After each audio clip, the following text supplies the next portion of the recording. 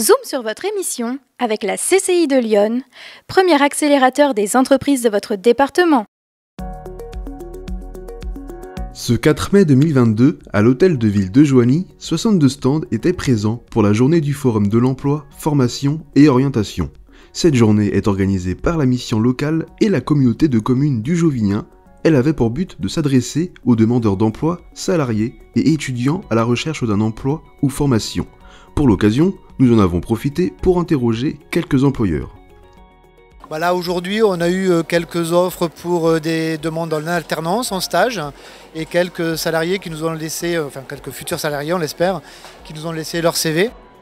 Nous, on est une association d'aide à domicile. on travaille essentiellement sur le secteur de Joigny et le secteur de Charny, donc avec des alentours assez, assez élargis.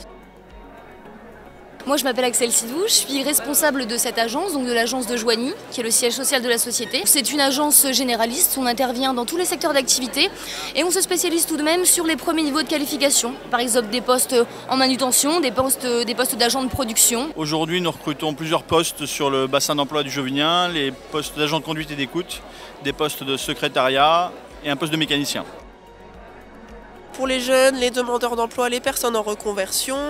Euh, on présente donc les formations qu'on va avoir sur le commerce essentiellement. Euh, on a une partie aussi sur la paye, ce qu'on appelle les gestionnaires de paye. Euh, et on présente aussi notre plateforme de recrutement pour expliquer qu'il y a des offres d'emploi, de stage et d'alternance. Alors actuellement on cherche un employé d'élevage et un agent de mesure, c'est-à-dire un technicien de sélection.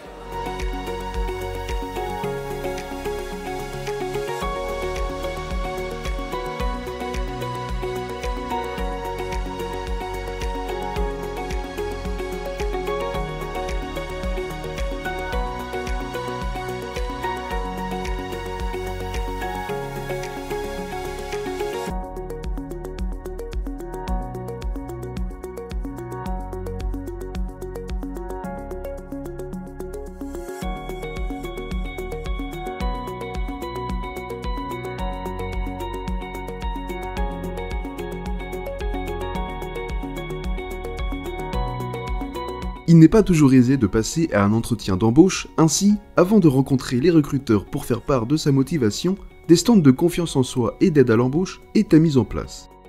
J'interviens sur le forum de Joigny pour euh, travailler l'estime de soi. Et dans un entretien d'embauche, en fait, on a deux minutes pour convaincre. Les deux premières secondes sont les plus déterminantes. Donc on travaille la posture, le verbal et le non-verbal. Et j'essaye de donner le plus confiance et le plus d'optimisme à nos demandeurs d'emploi. Donc les personnes viennent sur mon atelier, on travaille la présentation, on a des vêtements qui sont mis à disposition, donc on peut effectivement partir se changer.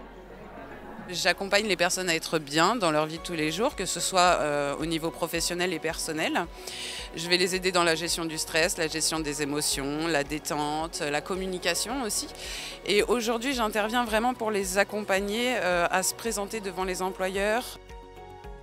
Je suis au parrainage de la mission locale, c'est-à-dire qu'on suit euh, des jeunes en difficulté pour leur apporter notre expérience, les accompagner pour rédiger des CV, des lettres de motivation, leur donner tous les conseils dont ils ont besoin pour réussir dans, dans une entreprise. J'ai travaillé beaucoup comme euh, adjointe aux affaires sociales à la mairie et j'étais au conseil d'administration de l'association En Train pendant des années. Donc j'ai trouvé tout à fait normal de continuer à travailler et puis avec le peu d'expérience que j'ai, de donner un coup de main pour euh, accompagner les jeunes. On a un document hein, qui nous est remis par la mission locale où on note le nom du jeune et on fait un commentaire. Donc euh, ce, document va retourner à la mission locale euh, après l'événement. Et avec la mission locale, on verra s'il est opportun de convoquer ces jeunes pour les avoir à la mission locale, pour continuer avec eux dans leur démarche de recherche d'emploi. Le vice-président du conseil départemental de Lyon, François Boucher, et la première adjointe du maire de Joigny étaient présents pour remercier tous les partenaires qui ont permis que ce forum ait lieu. On remercie ensemble nos équipes qui ont travaillé d'arrache-pied pour rendre cet événement concret. Aujourd'hui, nous y sommes et vous avez répondu présent et on vous en remercie. Euh, le monde que nous avons dans ces salons de l'hôtel de ville, on se rend compte que le sujet de la formation, de l'emploi et de l'apprentissage, euh, c'est un sujet extrêmement euh, moteur, un sujet qui peut être préoccupant parfois,